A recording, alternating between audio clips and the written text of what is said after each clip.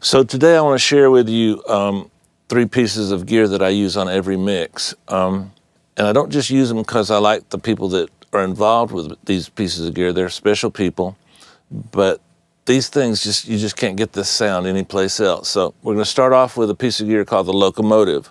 Now the locomotive is a compressor made in St. Louis by um, uh, Eric Stroth, uh, a young man who uses it. He makes them by himself. They're like little pieces of art on the inside. I want you to go to the website.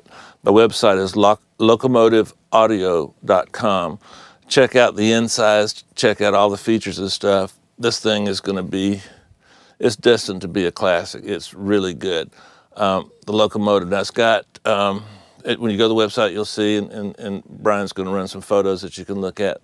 Um, it's going to, you'll see it's got attack and release. It's got a, a a high pass filter on the side chain. It's got um, input and output gain, which is kind of neat. And it's also got a switch where you can use it as a limiter, as a compressor, full featured.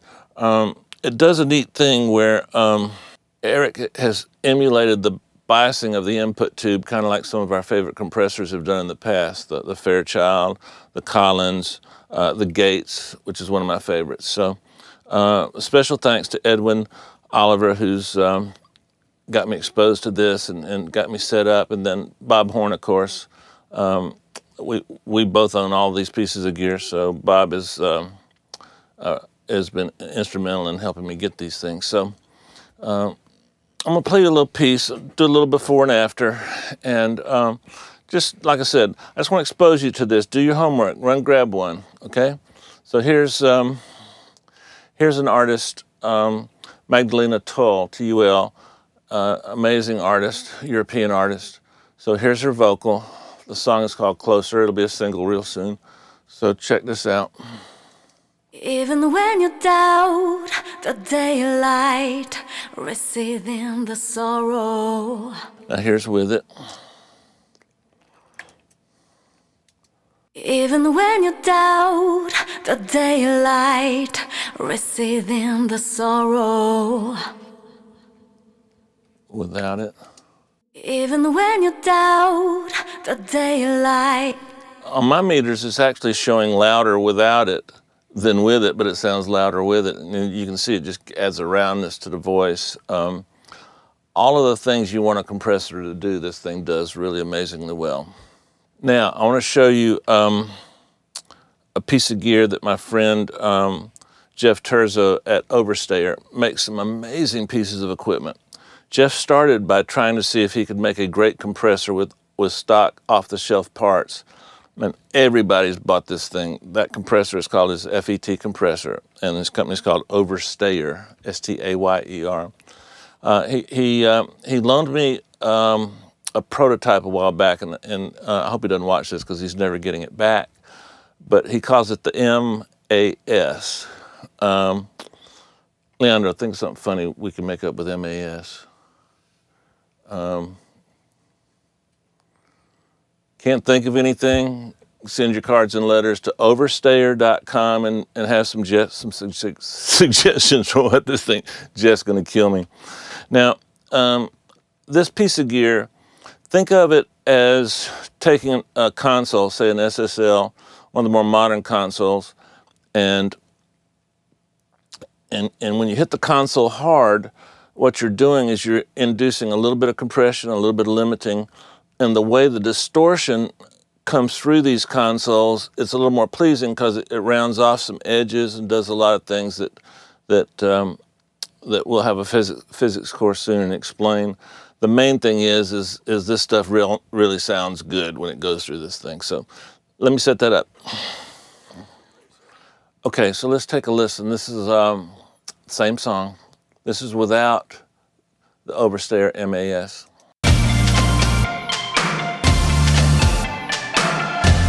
Okay, this is gonna scare you. Watch this. Yeah, BP.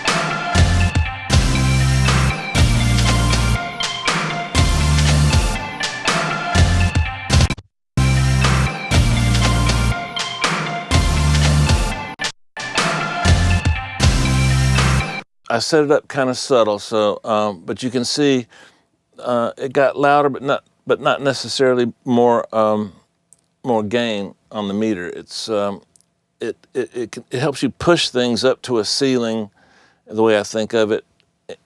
But but it, instead of hitting the ceiling and having a hard ceiling, it kind of makes it smooth and makes it just kind of I don't know just just better.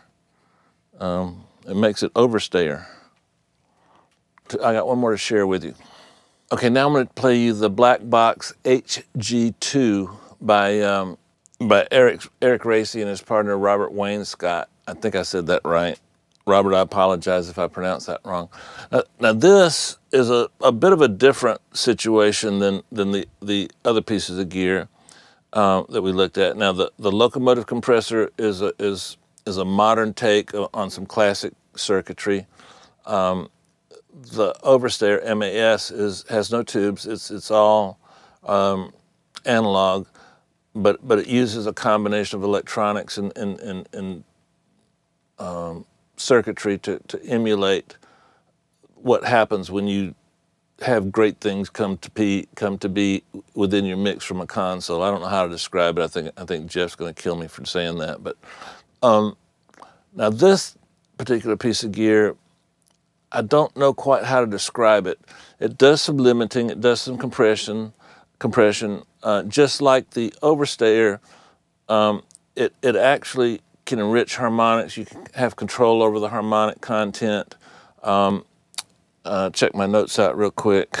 Um, uh, it, it, it, does some saturating. Um, I'm starting to get a little bored with the term saturation, so I hope I don't piss anybody off by saying that. But um, basically, when you want it to be better, you use these three pieces of gear. That's kind of the bottom line. Describing what it does and all that, that's helpful and that's, that's, that's good, and you should know that because that's our job and our profession and our hobby.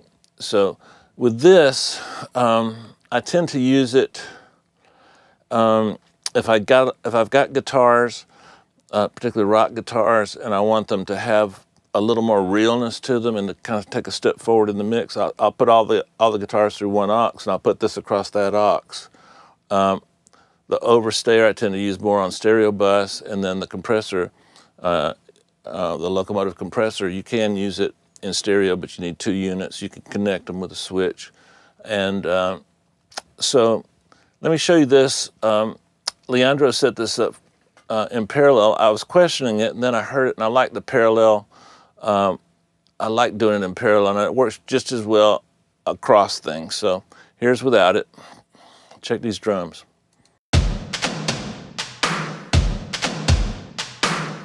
Ooh, Dave, those sound so good. Thank you. Here we go. With it.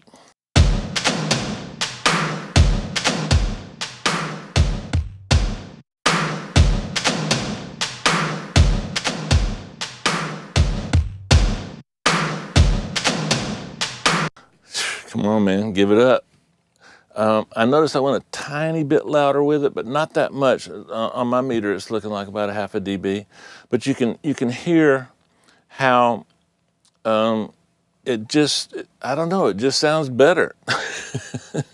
how would you describe it, Leandro? I think it adds some nice color to it and uh, brings some nice strength to the drums too. I, I agree with that. Um, Leandro's mentioned color. I think I think all three of these pieces of gear, what I like about them is, is they add colors and textures. I know I'm starting to sound like a, well, let's don't go there. Um, uh, a lot of times people just, the hard, you know what?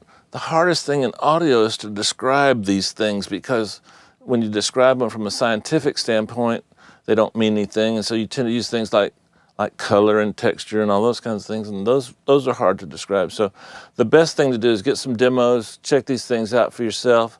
I promise you these things work for me. Uh, that was kind of a commercial type thing to do, one of those agreements you read. I promise it works for me. I promise you're gonna like it. Somebody out there is gonna like it. I promise you I like it. There we go. Check it out. See you soon.